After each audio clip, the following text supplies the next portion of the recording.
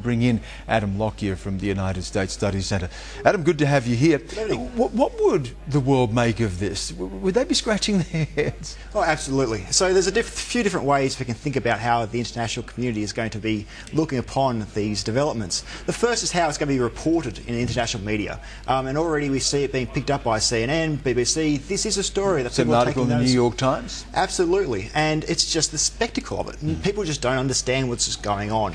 Uh, much the same way that um, the international media pays so much attention to the US politics because it is different, because it's Dramatic. theatrical, and yeah. because it seems to be a bit of a sideshow, that it's something so, so outside what they're used to that it's interesting. And yeah, that seems to be the approach that the international media is taking to all these, this event. This voyeurism is something that we associate with countries like Italy. Mm -hmm. um, but we've had a reputation for solid government, consistent government, being a well-managed country. And uh, as I said before, you know, we're peaceful, we're secure, our economy's been buoyant. We saw off the worst of the global financial crisis.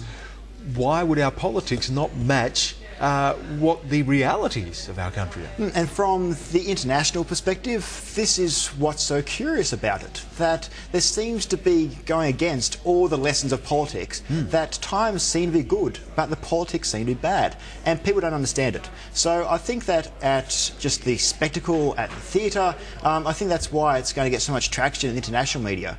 But from an international perspective, from international politicians, there are very few lessons to learn because this is such an, out, an outlier um, that this seems to be going against all the lessons that they know. Uh, people can chuckle at it, they can look at it and, and, and observe the theatrics, but there are significant issues here. Uh, we are a country that has a, a, a, big role, particularly in this region. We're on the uh, United Nations Security Council now. We're an important trading partner to a lot of countries. Would there be any concern, particularly as we see the lead up to an election in, in just a couple of months, perhaps even sooner, that a lot of this may now be in a state of flux?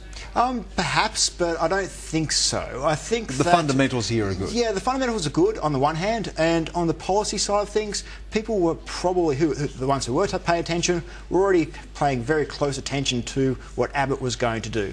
And I think that nothing that happened today is going to change that. I think that uh, most people are still expecting Abbott to win, mm. and his the, the, big policy changes are going to occur if and when Abbott wins the election, rather than if it's going to be a big change between Gillard and Rudd.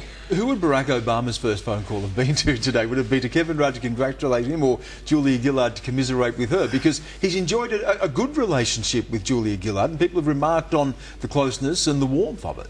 Um, yes, yeah, so he would probably make a phone call to both, um, although it's going to be probably a short one. Um, but on the other hand, too, um, I think that the personal relationship at this point isn't so important. Um, the eyes of the world, and including the United States, will be on the election. That's going to be the ones that are going to change policy uh, uh, more than the change in Canberra today. And what does the United States look for in an ally like Australia, in, particularly in, in this region? Mm, well, ironically, it's probably looking for stability. Uh, it's looking in the wrong place right now. exactly. they're, they're, looking for so, an ally that they can rely upon uh, and they can plan off, so they can understand that you know, this is Australia's policy and this is going to be Australia's uh, foreign policy, regardless of who the leader is and uh, on either side of politics or the leader of any political party. Um, and I don't think too much has changed um, from everything that's been occurred today.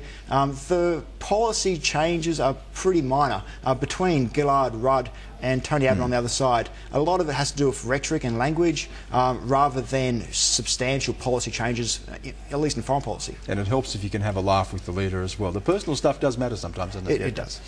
Nice to have you here, Adam. Thank Terrific. You. Terrific. Thank you so much for that. Adam Lockyer from the US Study Centre.